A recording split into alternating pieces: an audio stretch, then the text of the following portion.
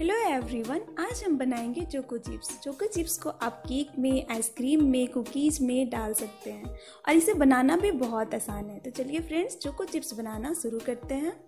इसे बनाने के लिए हम यहाँ पे 125 ग्राम डार्क कंपाउंड चॉकलेट लिए हैं। अगर आप डार्क कंपाउंड चॉकलेट से बनाएँगे चोको चिप्स तो आपको सस्ता पड़ेगा। इसे ऑनलाइन परचेज करने का लिंक मैंने डिस्क्रिप्शन बॉक्स में दे दिया है। अब चाहे तो इसकी जगह पर आप डायरी मिल्क से भी चोको चिप्स बना सकते हैं, लेकिन वो आपको थोड़ा महँगा पड़ेगा, इसलिए मैं सजेस्ट करूँगी कि आप डार्क कंपाउंड चॉकलेट से ही बनाएँ।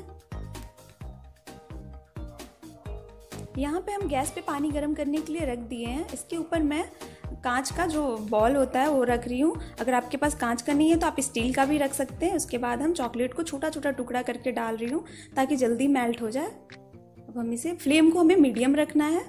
फ्लेम को मीडियम कर देंगे और ये बहुत जल्दी मेल्ट हो जाता है चॉकलेट।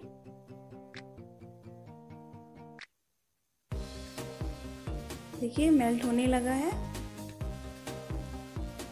ये बस थोड़ा सा मेल्ट होना बाकी है। अब हम गैस को बंद कर देंगे। ये ऐसा ही मेल्ट हो जाएगा। इसे निकाल लिए हैं। देखिए अच्छे से मेल्ट हो गया है। अब हम इसे चार से पाँच मिनट के लिए ठंडा होने के लिए छोड़ देंगे। तब तक हम यहाँ पे थाली में एल्युमिनियम फॉइल लगा ले रहे हैं, अगर आप इसके, आपके पास फॉइल पेपर ना हो तो आप इसकी जगह पे बटर पेपर भी लगा सकते हैं। अगर बटर पेपर भी ना हो तो प्लास्टिक लगा सकते हैं।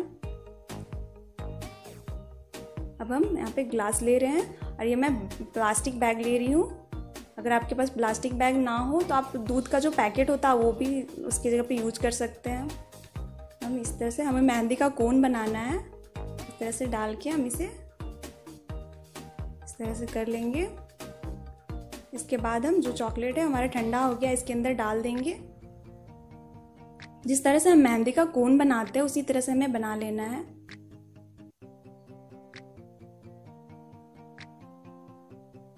देखिए, इस तरह से अब यहाँ पे हम रबर बैंड से बाँध देंगे।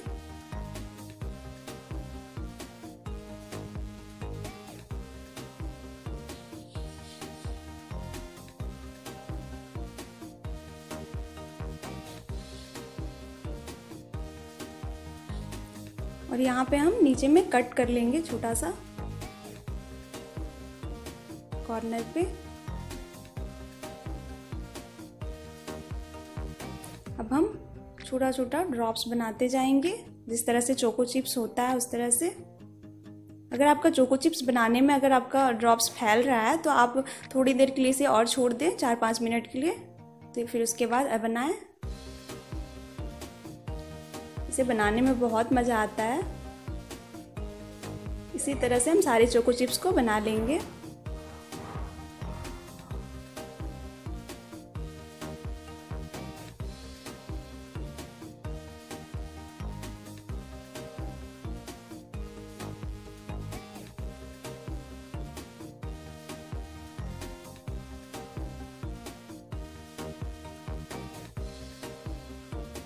इसी तरह से हम सारी चोको चिप्स को बना लिए हैं। अब हम इसे सेट होने के लिए 10 से 15 मिनट के लिए ऐसा ही छोड़ दें या फिर फ्रिज में रख दें। देखिए, हम इसे फ्रिज से निकाल लिए 10 से 15 मिनट बाद ये अच्छे से सेट हो गया है। अब हम इसे इस तरह से निकाल लेंगे, अलग कर लेंगे।